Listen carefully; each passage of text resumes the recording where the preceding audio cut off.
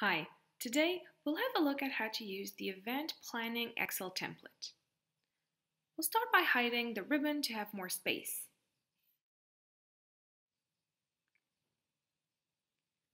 First, let's go into the settings page. As you can see, it allows you to set up data lists that will allow you to visualize your task progress and overall situation. Let's start with the team member list. Here, you can enter as many team members as you want. Let's add a new one we'll call Mary. Perfect. The events list is where we list the events our tasks are related to, as well as their budget. Let's add a new event called Event 5.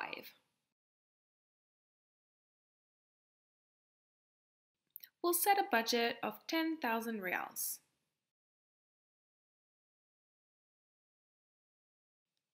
Finally, the status list allows you to enter and modify up to six statuses to indicate which stage your task is at.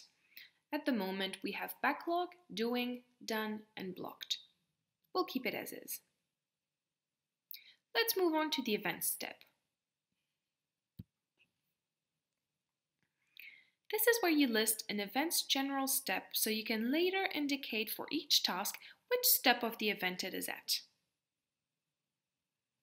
Now, let's go to the most important input page, the tasks page.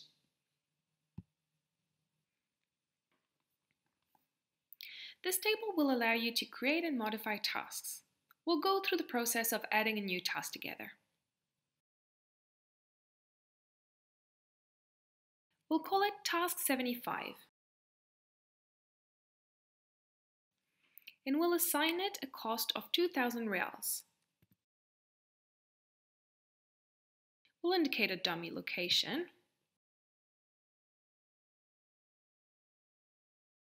And pick an event step and event name.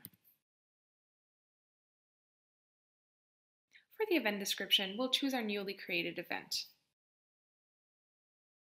event 5. We'll assign this task to our newly created agent Mary and choose a high priority. As for the start date, we'll set it as the 2nd of November 2020.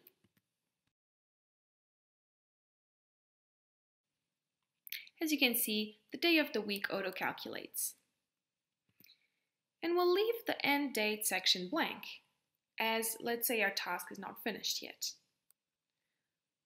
We'll set a due date of the 1st of December 2020 and set the status as doing.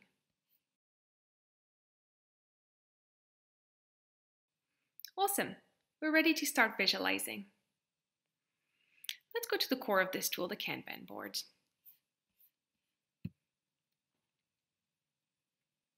First thing to do is to hit the button Refresh All to ensure we visualize the latest data.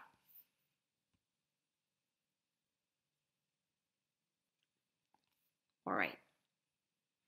You'll notice that all our tasks are grouped by status and all display the task name, the person it is assigned to, and its due date, so you can easily view the overall situation in a glance. The color coding will indicate the task with a low, medium, or high priority. The tasks in red are crucial, whereas the one in green do not hold as much importance. Finally, a little flag on the task card will indicate if the task is overdue or not. You can see on the top there are four slicers that allow you to filter the issue board and view only specific tasks by event, team member, priority, or if the task is overdue or not. Great. Now, let's have a look at the weekly calendar. First of all, refresh all. We can see it displays the task under a schedule based on their creation date. Similarly to the Kanban board, each task displays its name, the person it is assigned to, and its due date, with the priority color coding and the overdue flag. The series of slicer up here allow you to visualize a specific group of tasks based on their event, team member, priority, status, and overdue. The start of the week slicer, however, allows you to navigate through the calendar and visualize different weeks.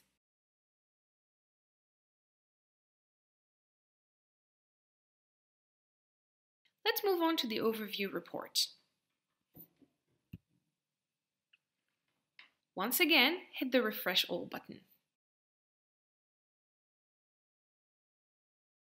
You can see the overview report is a table where you select a specific event and possibly a date range to visualize all the tasks attached to this event and grouped by event step. You'll also see every task detail from the team member assigned to it, the due date, status, and cost.